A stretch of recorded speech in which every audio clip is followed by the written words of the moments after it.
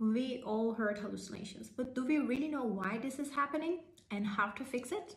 Let's understand together. Finally, the companies understand why their models are hallucinating and what they can do about it. OpenAI found that the old training system rewarded any answer.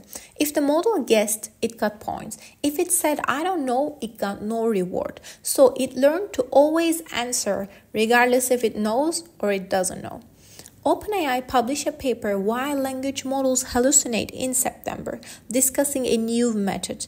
If the model says, I don't know, when it doesn't know, it gets a reward.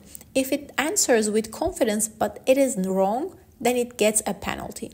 This teaches the model to be honest. However, the paper says the system must be adjusted rather than we have done it. There are no publicly available data showing that this exact reward is going to be implemented. Thanks for watching and send this to a friend who needs to know about this.